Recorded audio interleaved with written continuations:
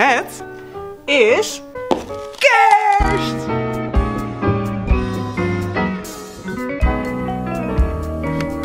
Koekoek! Heb je leuke cadeautjes gekregen?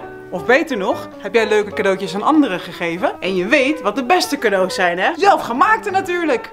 En je vrienden van het Medialab helpen je er graag bij. Mocht je nog gauw een cadeau in elkaar moeten knutselen voordat je aan het gourmetten slaat, dan hebben wij de perfecte how-to video voor je. Je kunt er zelfs een geheime boodschap in verstoppen. Die geheime boodschap staat in computertaal, oftewel in binaire code. Dat is code die bestaat uit enen en nullen. Maar ja, hoe kan je daar nou een cadeautje van knutselen? In deze video laat ik zien hoe je kerstversiering maakt met een geheime boodschap in binaire code. Dit heb je nodig. Kralen, pijpenragers en deze ASCII-tabel. Kies dan twee soorten kralen. Ik kies een rode kraal die voor de 0 staat en een gouden die voor de 1 staat. Elke letter heeft namelijk een unieke combinatie van enen en nullen. Je hebt deze ASCII codetabel nodig om erachter te komen welke letter welke combinatie heeft. De letter K van kerst ziet er bijvoorbeeld zo uit. 01011. Dus daar gaat hij. Rood voor 0 en goud voor 1.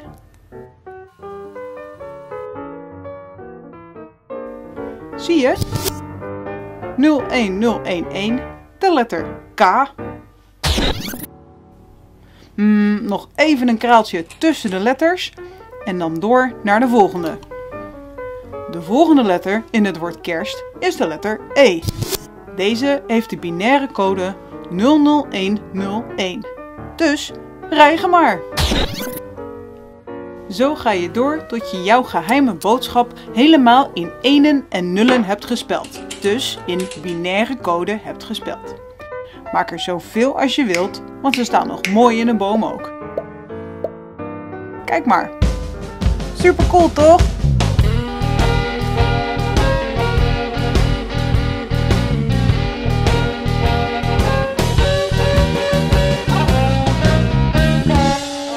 Welke kerstcode heb jij erin verstopt? Laat het ons weten via Facebook en Instagram met de hashtag MedialabOPR. En deel deze video met je vrienden. Dan kan je geheime boodschappen naar elkaar versturen. Bedankt voor het kijken en tot volgende week. Dan hebben we een vet coole raket voor je waarmee we zo het nieuwe jaar invliegen. Doei!